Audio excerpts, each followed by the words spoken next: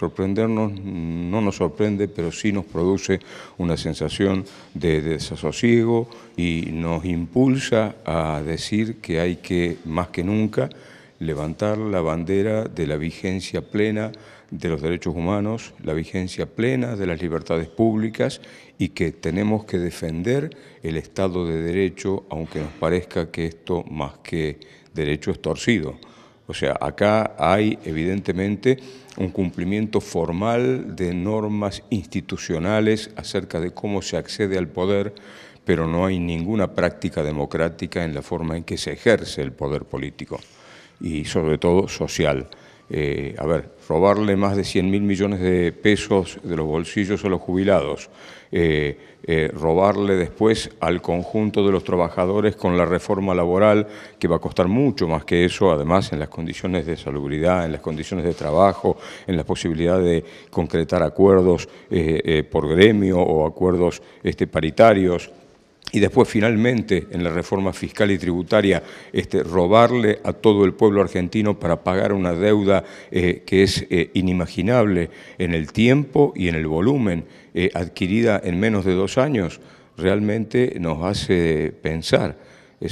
creo que la medida en que deberían este, considerarse las cosas hoy es en qué proporción del Producto Bruto Interno del país participa el sector asalariado los trabajadores, cuánto reciben del total de bienes y servicios que el país produce. Si no medimos eso, no sabemos realmente quién se está quedando con la, parte más gruesa de la torta. Hemos convocado las, distintas organizaciones por un tema que obviamente es de una profunda alerta eh, y, una, una, situación ante el Estado de Derecho que me parece que eh,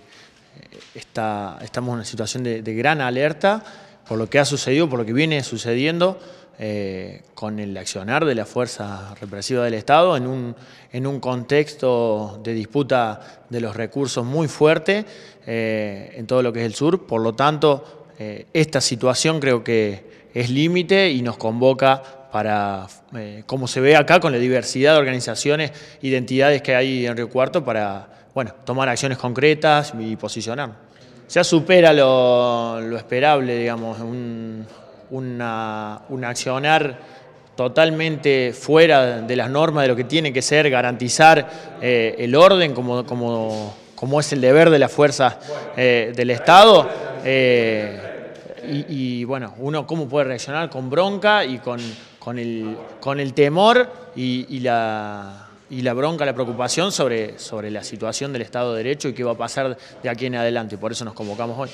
Nuestra organización política, que conjuntamente es la Franja Morada, la Juventud Radical y el Partido Radical que integra la, Alianza de Cambiemos, el sector juvenil tiene la autocrítica necesaria para responder a los llamados de las organizaciones sociales y los derechos humanos para estar acá dando los debates necesarios. Para nada vamos a ser condescendientes con lo que pasa o con lo que hace nuestro partido en el plano de Mazores. Las organizaciones juveniles tienen que ser transgresoras a su tiempo y a su época. Y en ese en este sentido es necesario articular las luchas que se dan en la universidad y en las calles en conjunto con las organizaciones sociales.